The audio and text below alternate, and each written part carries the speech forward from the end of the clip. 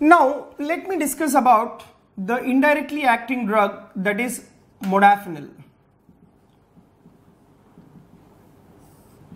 So if you take this particular modafinil, modafinil is approved for the treatment of narcolepsy.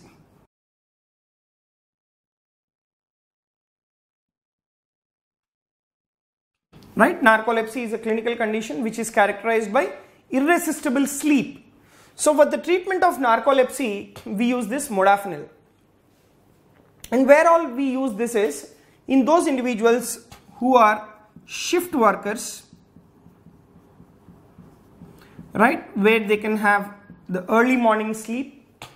Next, this particular modafinil is also used to relieve fatigue in multiple sclerosis, right, to reduce fatigue in patients with multiple sclerosis. We use this modafinil. All right. Next, this is also it is used as an adjunct in patients with obstructive sleep apnea.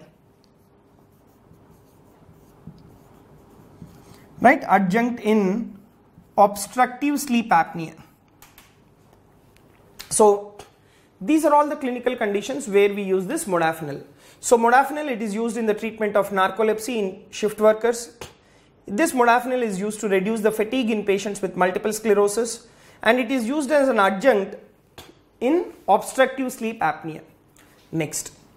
Next after having discussed about the directly acting and as well as indirectly acting sympathomimetics, now let me tell you the mixed action sympathomimetics.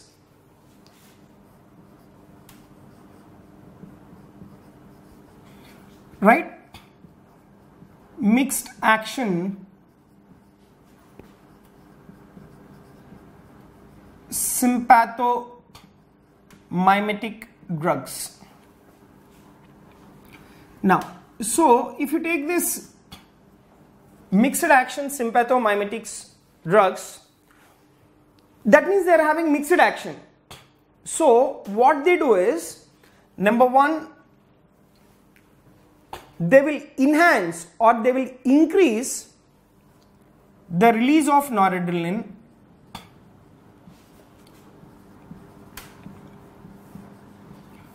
right they will increase the release of noradrenaline like indirectly acting drugs. And apart from that right and apart from that they also activate right apart from that they also activate alpha and beta receptors directly. Right, apart from that, they also activate the alpha and as well as beta receptors directly. So that is the reason why they are called as mixed action sympathomimetics. In the sense, they are in increasing the release of the noradrenaline. Along with that, they are also activating the alpha and as well as beta receptors directly. Now, let me tell you the examples in these group. So, if you take the examples in this particular class, like we have ephedrine,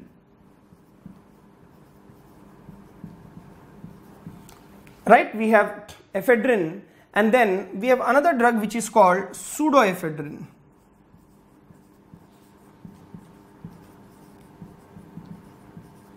Right? We have another class which is called as pseudoephedrine. Now this particular ephedrine and pseudoephedrine, where are they used? Right? Remember, they are used in cold as nasal decongestants.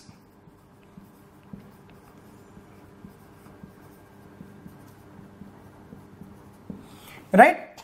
They are used in patients with cold as nasal decongestants. Right? And not only that, they are also used as the bronchodilator action.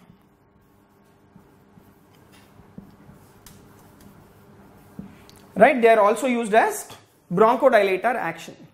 Now, you take this particular ephedrine. Ephedrine, it is used in the treatment of bronchial asthma because it has a preferential bronchodilatory activity. So, it is used in the treatment of bronchial asthma. Now, not only that, it is the vasopressor of choice in pregnancy. Right, this is a very very important point. This ephedrine, it is the vasopressor of choice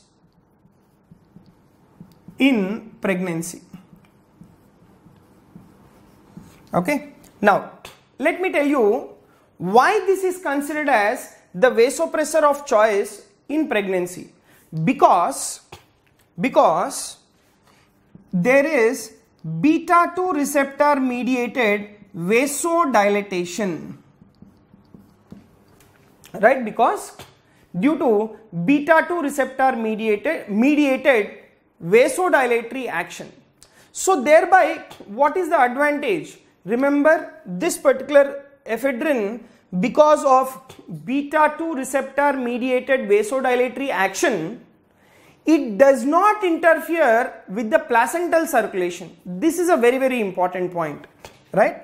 This particular ephedrine will not interfere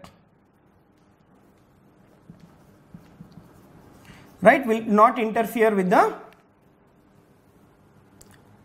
placental mediated does not interfere with the placental circulation right? Does not interfere with right does not interfere with placental circulation.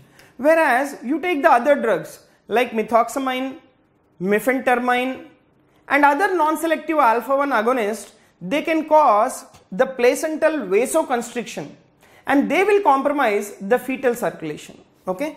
So the other alpha 1 agonists they will compromise placental circulation. Right? They will compromise the placental circulation. That is why these drugs are not used. So the vasopressor of choice in pregnancy is ephedrine.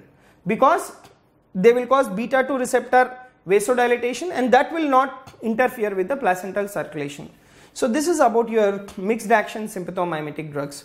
So mixed action sympathomimetic drugs they act by increasing the release of the noradrenaline and along with that they also activate the alpha and as well as beta receptors directly. The examples what we have is ephedrine and pseudoephedrine. They are mainly used in treatment of cold as nasal decongestants and as well as they also have bronchodilatory action.